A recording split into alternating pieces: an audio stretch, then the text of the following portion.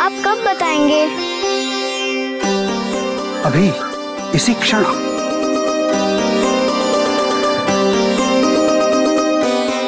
सर्वप्रथम ये ज्ञात रहे कि मनुष्य का मन और मछली के व्यवहार में कोई अंतर नहीं होता मनुष्य का मन जितना चंचल होता है, उतनी चंचलता मछली में भी होती है। यही कारण है कि वो चंचला के नाम से भी जानी जाती है। इसलिए अपने मन को जो नियंत्रित कर सके वही कुशल मछुआरा बन सकता एकाग्रता ही इस कला का प्रथम चरण है। निंद्रा और आलस्य हमारे सबसे बड़े शत्रु। तो मैं निद्रा और आलस्य को पराजित कैसे करूँगी? मन और चित्त दोनों को केंद्रित करने के पश्चात ही ये संभव है। मैं इस कला को शीघ्र सीख लूँगी।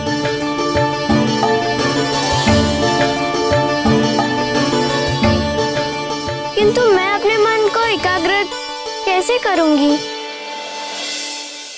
शिवोहम।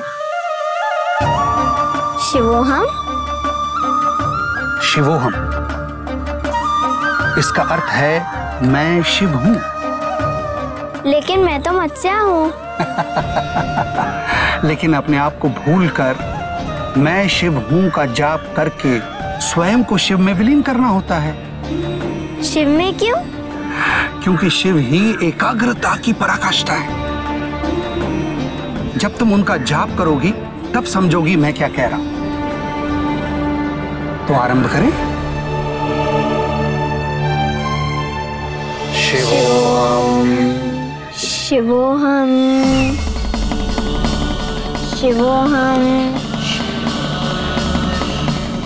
शिवोहम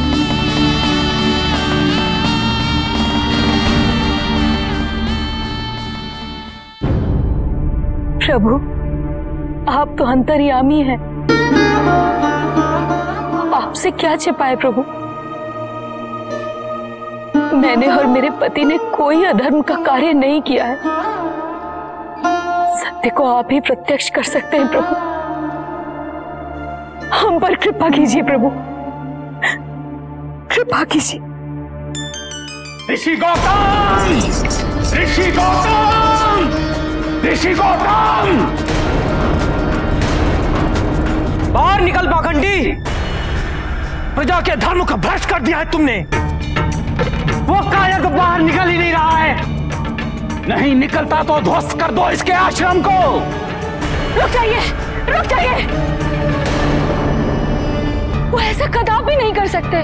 वो ऐसा कदापि नहीं कर सकते तो क्या मैंने किया है? क्या हम सबने किया है?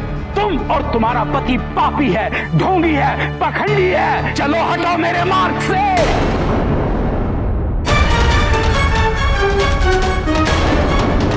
ऋषि गौतम।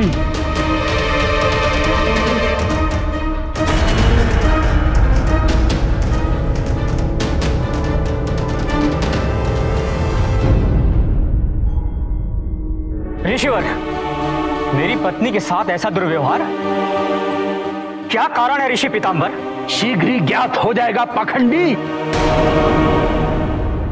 अपने पापों का दंड भुगतने के लिए तैयार हो जा। ले चलो इसे यहाँ से। ले चलो। मेरे स्वामी को मेरे स्वामी को। छोड़िए।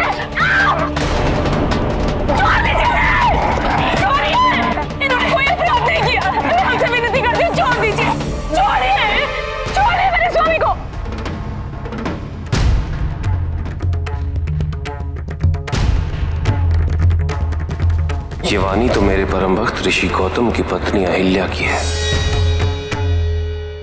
छोड़ दीजिए मेरे स्वामी को। छोड़िए। इन्होंने कोई अपराध नहीं किया। छोड़ दीजिए। छोड़ो। स्वामी। स्वामी। चिंता मत करो अहिल्या। हमारे महादेव हमारी रक्षा अवश्य करेंगे। त्रिमकवासियों यही है आपका अपराधी। इसी ने इस पवित्र कुंड के जल को अपवित्र किया है। हमारी वर्षों की तपस्या को भ्रष्ट करने का षड्यंत्र रचा है इस ऋषि गौतम ने। सत्य है यही पापी है। नहीं।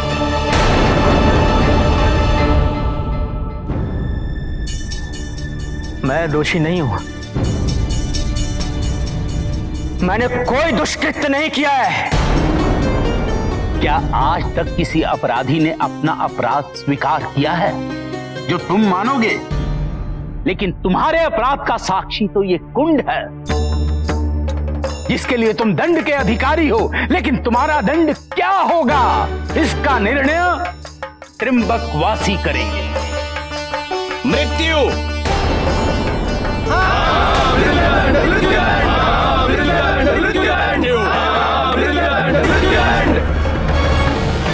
तुमने। मृत्यु दंड तुम्हारे अपराध के लिए मृत्यु दंड भी कम है। यदि मैं निर्णय लेता तो पत्थर मार मार के तुम्हें मृत्यु प्रदान करता। कदाचित इनमें वो साहस नहीं है। हाँ हाँ भाइयों ऋषि पितांबर का विचार उचित है। इस पाखंडी को तो मार मार के मृत्यु दंड देना चाहिए।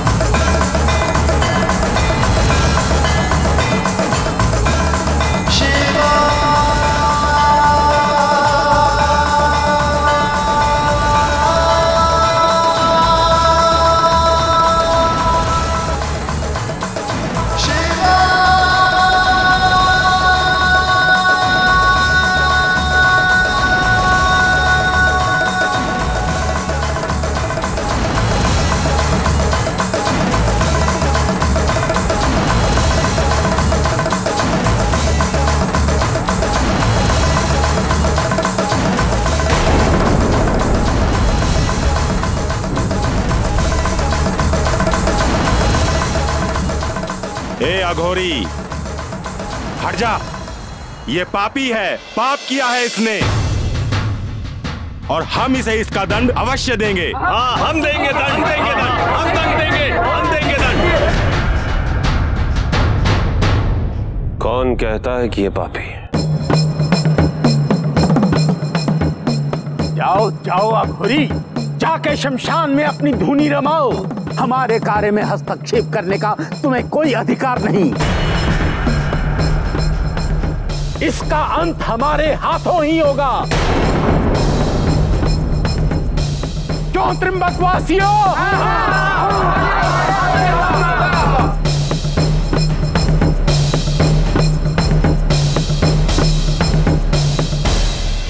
यदि ये वास्तव में पापी है तो इसे पत्थर मार मार के मृत्युदंड दे दो। किंतु ज्ञात रहे, जो पत्थर इसकी ओर फेंका जाएगा, वही पत्थर फेंकने वाले की तरफ़ दुगनी तीव्रता से आएगा।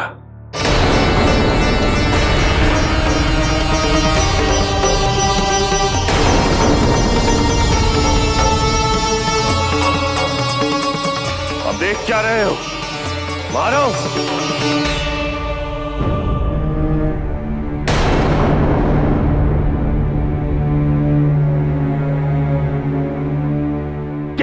क्या घोरी के कथन से तुम लोग डर गए हो?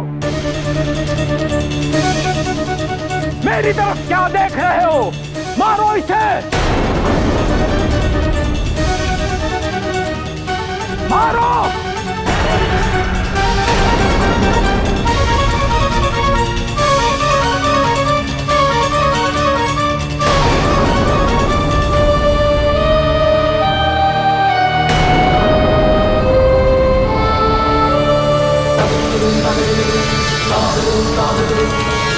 Thank